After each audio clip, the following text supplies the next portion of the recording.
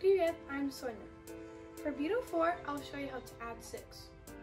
We will do that by moving the heavenly bead and one earthly bead to the reckoning bar. We do that by pinching the two beads together with your thumb and index finger, like so. You are getting so good doing calculations on the abacus. Now, let's try to add 6 to the abacus, moving two beads at the same time. To add 6, we will pinch the top 5 bead with one lower bead to the reckoning bar using both our thumb and index finger. Another option to do this is using only your index finger, like so. Now, let's calculate. Add 6 to 1. So first, add 1 by moving one earthly bead to the reckoning bar.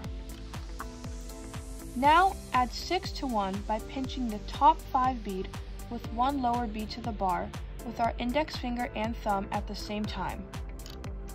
Now, we have 7 on the abacus.